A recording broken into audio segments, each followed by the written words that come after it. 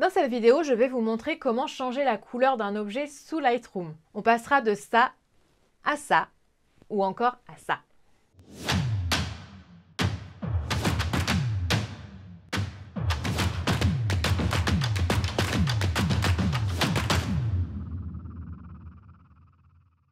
Bonjour, je suis Mélanie Roussel, styliste et photographe culinaire, aussi connue sur le pseudo Les recettes de Mélanie. Je forme et accompagne les passionnés de food à réaliser des photos alléchantes pour qu'ils puissent enfin vivre de leur passion. Donc si la photo culinaire vous intéresse, abonnez-vous à cette chaîne en cliquant sur le bouton rouge juste en dessous pour ne rien manquer. Je publie une vidéo tous les samedis. Si vous avez envie de vous former à la retouche sous Lightroom, sachez que j'ai un module entièrement dédié au logiciel sur ma formation à la photo culinaire pour réflexe ou hybride. C'est un module dans lequel je vais vous expliquer pas à pas comment retoucher une vidéo et je vous montrerai également les coulisses d'une de mes photos retouchées. C'est un module également que je mets à jour au fur et à mesure des mises à jour de Lightroom. Donc là, par exemple, il intègre les mises à jour qui ont été faites fin d'année 2022. Alors dans cette vidéo, je vais vous montrer plusieurs techniques pour modifier la couleur d'un objet de, que ce soit un petit objet, que ce soit le fond de votre photo, etc. On va avoir différents outils sous Lightroom et euh, l'avantage, c'est qu'on va pouvoir le faire sans avoir à passer sur Photoshop. Alors, là, ici, sur cette première photo, je vais vous montrer comment changer la teinte des fleurs. Donc ici, j'ai un bouquet de lilas qui est en premier plan, qui est flou.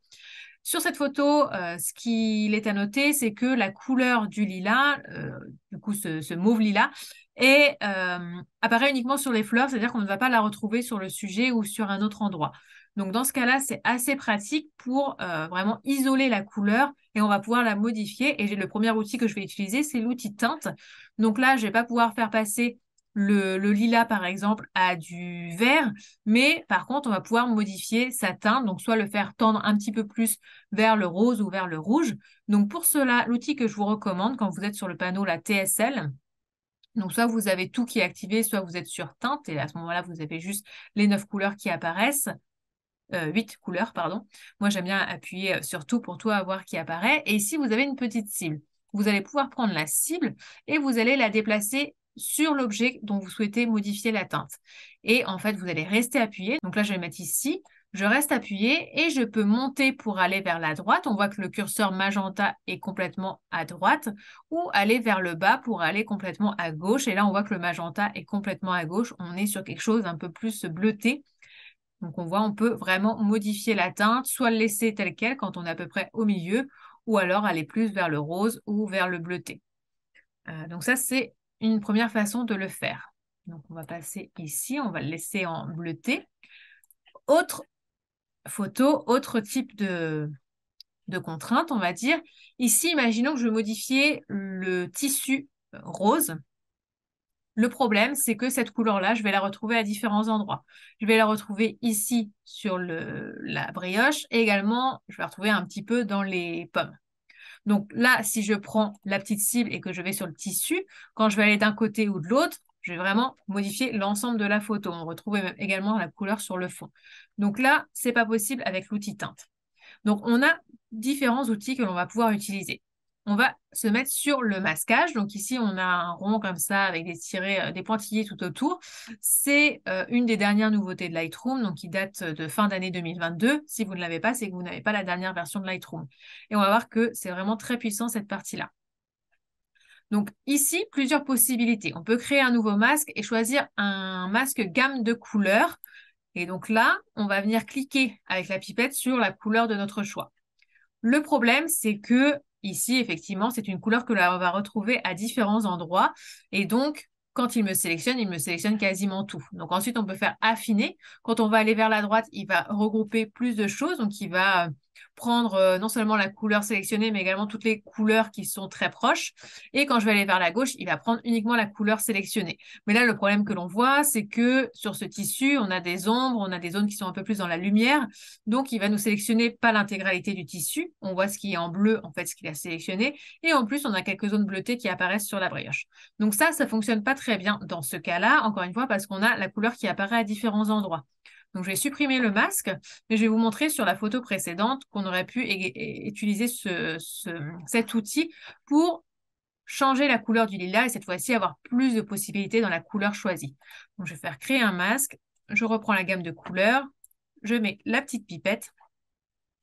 Et là, on voit ce qu'il a sélectionné. On voit qu'il sélectionne une partie du fond. Donc, il ne faut pas hésiter à aller à gauche pour vraiment sélectionner que le lilas.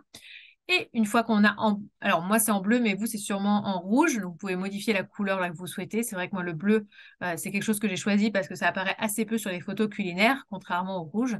Donc on a en bleu toute la partie qui est sélectionnée. On voit qu'il n'y a pas d'autres zones bleues qui apparaissent sur la photo. Donc on va bien avoir uniquement cette partie-là qui va être impactée. Et ici, on va pouvoir modifier la teinte en prenant le petit curseur et en se déplaçant soit à gauche, et donc là, on a quelque chose qui apparaît vert, soit à droite, on va pouvoir vraiment aller sur la couleur que l'on souhaite.